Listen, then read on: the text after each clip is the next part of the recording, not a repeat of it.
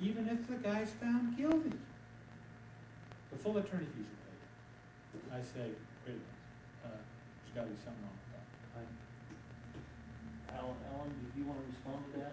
No, Or- it- Go. There- There are some things that, you know, as I look through it, that, that are important. We as the legislature, and speaking for myself, and maybe Senate and and third, we frown significantly, heavily upon people who, for lack of a better term, embarrass us.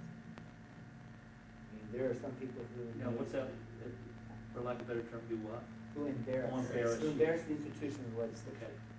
I mean, there are some people whose actions, their egos get in the way, uh, they don't listen to maybe constituents or whatever. There, there are some issues that have occurred. But there's some things in here I really like, on page eleven, like, no legislature while serving, serving in office may act as lobbyist. Uh, It's no brainer. But, but you have to say lobbyist where. Right, Because oh, yeah, be a yeah, lobbyist yeah. back to New York and does. Right, I mean, in Utah, you can't lobby an issue, you can't be paid to lobby an issue before the body. That's wrong. That, I, that's good. Okay, a legislature, legislator while serving office may not accept a campaign contribution where such contribution has been promised and intended to quid pro quo. Yeah, that's, that's good. There's a few people in Louisiana and a few other places that understand what the federal, penal, like. Well, that's a federal issue, you can't do that. For example, and likewise, you, if you're a lobbyist, you can't get commission on something. How they get around it, I don't know, I'll never find out.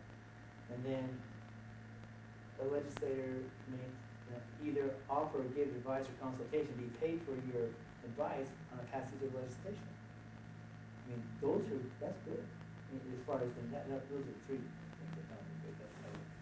But from that perspective, we try in quiet ways police ourselves.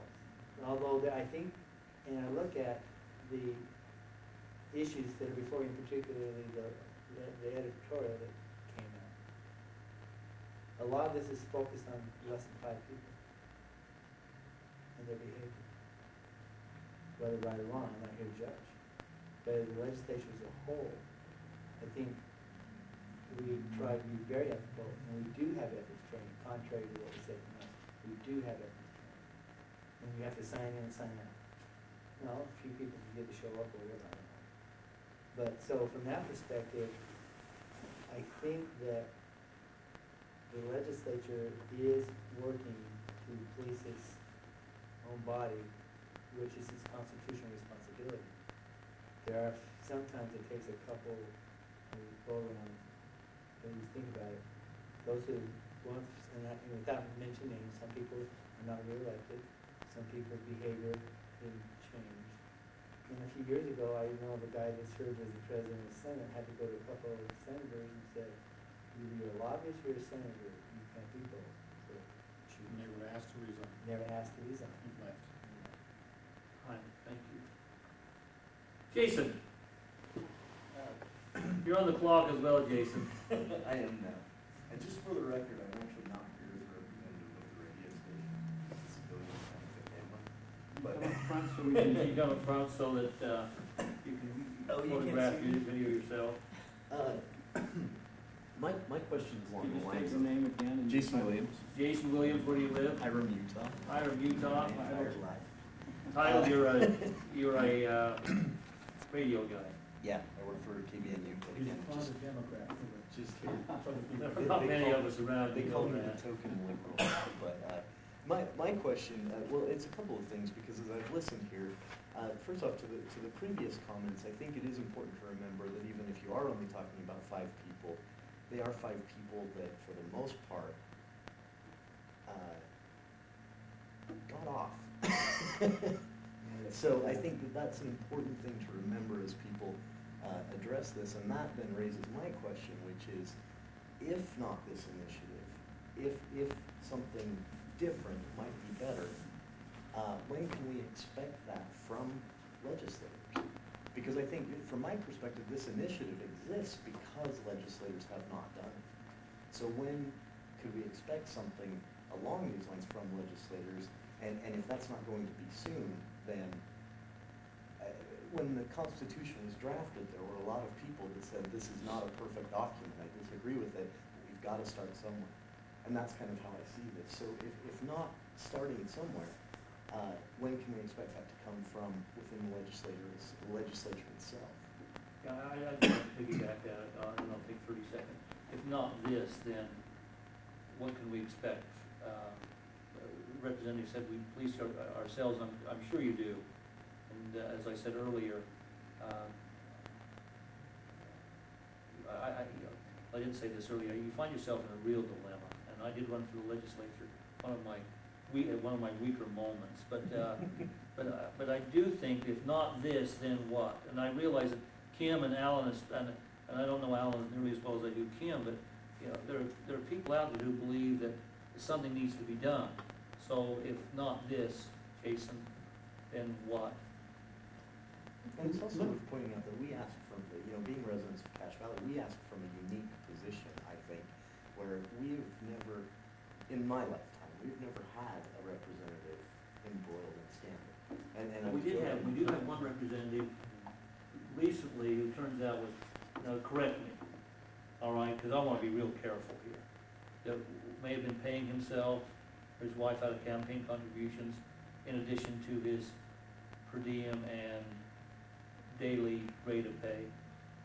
Let, let me tell you, uh, let me answer that question because I think there's a misunderstanding.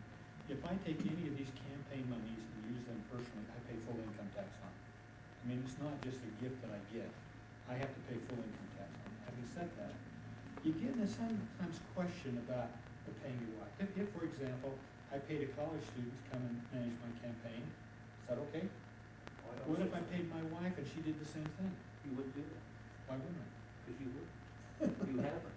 Well, I haven't in, in the aspect that, that she'd tell me no. I'm gonna She go didn't for- wanna run your damn I'm gonna go vote for But, Stuart there- but, uh, but therein, well, she's not going to, but therein, one of your daughters might, but therein lies, I think, the dilemma. Uh, I, I think some, some legislators do not hold themselves to the same level of moral, moral uh, perpet, turpitude as you do. Or, Yeah, I, or, I or, or Fred, for example. That if I kicked out a thousand dollars a month to my wife just to have her money, she did nothing, then that's just like if I kicked a thousand dollars out to anybody else. But let, let me address one other thing. Campaigning is really an interesting thing. You know, what is really campaign effort? If I take my wife and we go over to, to the Providence turkey turkey sauerkraut dinner, and I go with Kurt Webb and his wife, and I use campaign money to buy our dinner, because we're there mingling, visiting with the Providence, we're contributing to that, making ourselves known. Is that wrong? Is that bad campaigning? Honestly, yeah, I'd say no.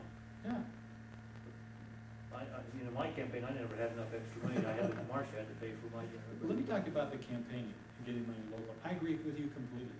The problem is, Kim, I go around to people and I say, I need a donation, they look at me and say, you gotta be kidding. Just don't even worry about the campaign, you're gonna win, don't even worry about it. So I get money from Salt Lake, I used to send it back, and I thought, you know, if, if somebody wants to send me money and I can give it to, uh, the middle school at Cedar Ridge, so they can use it for something, that's campaigning for me. The teachers, the kids know that I donated money there. If I can give money to Close Up, to Logan and Skyview and Mountain Crest, to to Close Up, uh, why shouldn't I? I talk to these people and I give them money, I say, you know, I may end up making charitable contributions, because it it's for partisan political purposes. But I'm giving the money to, to those charities. You know, you say the local, the, the state board, if I were drafting it, I would have said to the school board where the legislator lives. So that if I ended up with ten thousand dollars in my account, and it, it would go to the local school district, because that's where I live. Why would I wanna give it to the state board with ten thousand dollars mean nothing to them? Ten thousand dollars to the Logan School District or Cache would mean a lot. So, you know, that's, when I see you're drafting it, that's a change. I, I guess I can designate it that if I wanna change that, but if I died in office, then the money goes. Does my wife get to say where it goes? I don't know. I don't know the answer to that. And again, I, I read these things with the idea, if I stand in front of a judge or a commission and explain what it means, see,